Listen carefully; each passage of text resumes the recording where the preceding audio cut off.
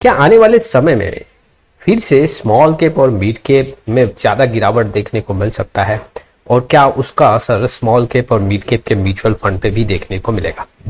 मैं ऐसा स्टेटमेंट आपके सामने क्यों रख रहा हूँ? जो स्मॉल कैप और मिड कैप को लेके एक टेस्ट हुआ था, उस टेस्ट में हर एक म्यूचुअल फंड हाउस ने अपना आंकड़ा इन्वेस्टर के सामने रखा था। 50 परसेंट का रिडम्शन का प्रेशर आ जाए तो कितने दिन में इन्वेस्टर का पैसा वापस हो सकता है? 25 परसेंट पे कितना दिन लग सकता है? तो जो ये टेस्ट हुआ था, अब इस टेस्ट को लेके सेबी के साइड से एक और स्टेटमेंट आता हुआ देखने को मिला है। देखो, नारायण गोपाल कृष्णन के साइड से ये स्टेटमेंट आया है।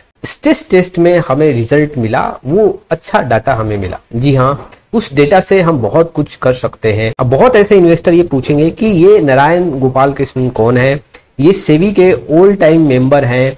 जी हाँ और इनके साइड से स्टेटमेंट आया है कि जो यहाँ पे स्ट्रेस टेस्ट हुआ था उसमें हमें डेटा तो अच्छा खासा देखने को मिला एग्जैक्ट डेटा मिला, लेकिन उस डेटा से हमें बहुत ज़्यादा बेनिफिट नहीं हुआ। जी हाँ सिर्फ़ स्ट्रेस टेस्ट से हमें ये जानकारी मिला कि किस म्यूचुअल फंड में कितना रिस्क देखने को मिल रहा है।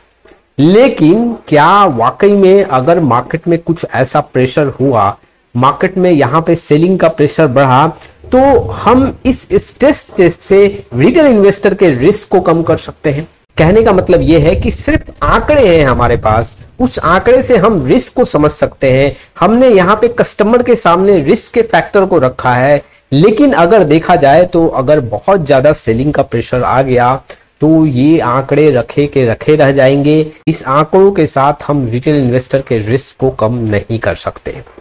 अब इसका मतलब ये है कि कुछ और यहाँ पे मैकेनिज्म तैयार किया जाए जिसके बेसिस पे यहाँ पे स्मॉल कैप और मिड कैप में जो ये रिस्क का फैक्टर है इसको कम किया जा सके। देखो, उनका ये कहना है कि जब 2022 का समय था तो उस समय 50 से 55 परसेंट डीआई और एफ़ का पार्टिसिपेट था मिड कैप और स्मॉल कैप में। अब वो आंकड़ा घट के काफ़ी कम देखने को मिला है। अब यहाँ पे आंकड़ा पाँच परसेंट, सात परसेंट का देखने को मिला है।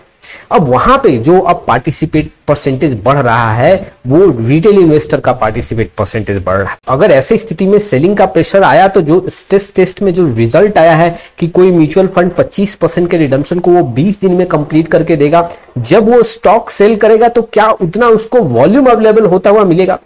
और इतना ज़्यादा सेलिंग का प्रेशर क्या मार्केट सह लेगा? और क्या फिर रिटेल इन्वेस्टर उसको सह सकते हैं? ये स्थिति अभी भी क्वेश्चन मार्क में है। और ये भी कहना है कि जो ये सिस्टम इतना बिगड़ रहा है, इसको काफ़ी ज़्यादा ध्यान देने की ज़रूरत है।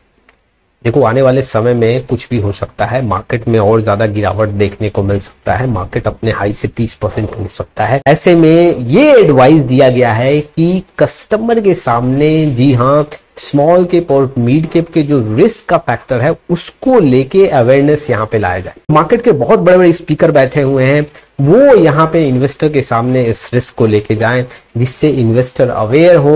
म्यूचुअल फंड एएमसी यहाँ पे इन्वेस्टर को अवेयर करे, जिससे हम इस रिस्क को मिनिमाइज कर सके। अच्छा मैं ये नहीं समझ पाता हूँ कि अगर सेबी को ये महसूस हो रहा है कि स्मॉल केप और मिड केप में आने वाले समय में रिस्क काफ़ी बढ़ सकता है, और रिटेल इन्वेस्टर सबसे पहले यहाँ पे फंसेंगे तो क्यों नहीं आप ऐसे म्यूचुअल फंड पे कुछ यहाँ पे बाउंड्री सेट कर दो?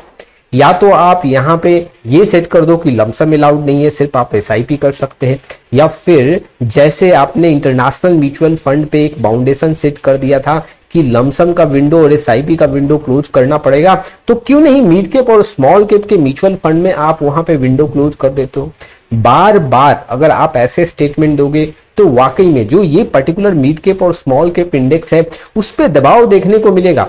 रिटेल इन्वेस्टर का पैसा तब जाके नुकसान में आपको देखने को मिलेगा। मुझे महसूस होता है कि एग्जैक्टली मिड केप और स्मॉल केप में रिटेल इन्वेस्टर का यहाँ पे पार्टिसिपेट परसेंटेज काफ़ी बढ़ गया। लेकिन इसका मतलब ये नहीं है कि आप ऐसे ऐसे स्टेटमेंट लेके इन्वेस्टर के सामने आए, जिससे वो पैनिक सिचुएशन में आके और वहाँ पे सेल करें अपने माल को। पिछली बार भी जब स्ट्रेस टेस्ट का न्यूज़ आया था सेबी के साइड से तो वहाँ भी मार्केट गिरता हुआ देखने को मिला स्पेशली मिड केप और स्मॉल केप यहाँ पे 10 परसेंट, बारह परसेंट टूट गए। तो अगर ऐसे स्टेटमेंट आएँगे तो वाकई में फिर से गिरावट हो सकता है मिड केप और स्मॉल केप में।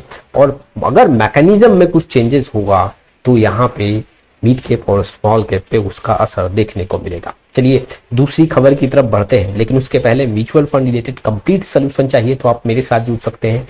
जी हाँ डिस्क्रिप्शन बॉक्स में जाके पूरा डिटेल चेक करें और डिटेल के बेसिस पे व्हाट्सअप नंबर के थ्रू आप मेरे साथ जुड़ सकते हैं। जो मिडिल ईस्ट में यहाँ पे हाई टेंशन बना हुआ है, जी हाँ वॉर स्टार्ट हो गया है, लेकिन अब ये बहुत बड़ा रूप लेता हुआ देखने को मिलेगा और जितना बड़ा रूप लेगा मार्केट का, जी हाँ लेवल यहाँ पे डैमेज होगा। इट मीन्स की मार्केट पे दबाव देखने को मिल सकता है। मंडे के दिन, देखो, हो सकता है मार्केट दबाव में खुले। मैं ऐसा क्यों बोल रहा हूँ? मैं ऐसा इसलिए बोल रहा हूँ कि मिडिल ईस्ट में टेंशन काफ़ी ज़्यादा हाई हो गया है। अब इस हाई टेंशन से हो सकता है कि मार्केट में दबाव देखने को मिले। अगर मैं फ्राइडे के दिन की बात करूँ तो मार्केट पॉजिटिव था। जी हाँ यहाँ पे Nifty, Sensex mid cap, small cap index, हर एक इंडेक्स काफ़ी पॉजिटिव आंकड़ों के साथ खुले थे। दिन का दबाव जो मैंने आपको बताया कि मिडिल ईस्ट में जो ये हाई टेंशन बढ़ता हुआ जा रहा है, अब ये जैसे जैसे विकराल रूप लेगा जो ये युद्ध हुआ है वैसे वैसे मार्केट पे प्रेशर पड़ता हुआ नज़र आएगा। तो मंडे के दिन इसका खासा असर होगा। लेकिन अगर एशियन मार्केट पॉजिटिव में खुलता है तो उसका वहाँ पे बेनिफिट देखने को मिलेगा इंडियन स्टॉक्स मार्केट पॉजिटिव देखने को मिलेगा। लेकिन अगर एशियन मार्केट्स पे यहाँ पे कुछ नेगेटिव इंपैक्ट देखने को मिला तो इंडियन स्टॉक्स मार्केट पे उसका ज़्यादा असर देखने को मिल सकता है।